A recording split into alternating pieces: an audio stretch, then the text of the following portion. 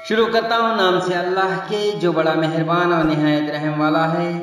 नाजरीन, अस्सलाम वालेकुम रहमतुल्लाहि व बरकातुहू वार्ड नंबर अट्ठानवे, कांग्रेस की जानब से सबक नायब सदर बल्दिया, लियाकत अली खान को टिकट मिला और इनके मुकाबिल जे डी एस से शफी साहब को टिकट दिया गया। दोनों में कड़ा मुकाबला देखने को मिला। सबक नायब सदर बल्दिया, लियाकत अली खान की खिदमत के मद्देनज़र वोटरों ने इन्हें अच्छी अक्सरियत से कामयाब किया। लियाकत अली खान भी अपनी वार्ड में अपना अच्छा होल्ड बनाया रखा है। जब दूसरों के इंतबात में लियात अली खान जिस तरफ़ इशारा करते हैं, वोट उस तरफ़ ही पड़ते हैं तो इनके खुद के इंतखब में लोग अक्सर इसे कामयाब करना लाजिमी था।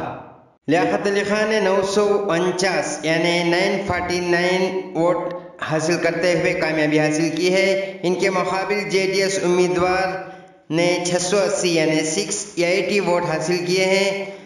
दो सौ उनहत्तर यानी 269 वोटों की लीडिंग से लियाकत अली खान ने कामयाबी हासिल की। इन्होंने अपने वोटरों का शुक्रिया इस तरह अदा किया है। सुनिए। अठारहवें वार्ड का कैंडिडेट लियाकत अली खान, मेरा नाम। और सब जने मुझे वोट आंदल को जीतें। डाली नहीं डाली सबका भी शुक्रिया अदा करता हूँ। अच्छे लीड से मुझे जीतें। हर काम पहले कैसा कर लगा जाता था। वैसा करता हूँ इन क्या भी गलती गलती हुई रही तो मेरे से माफ़ करो और सलामकुम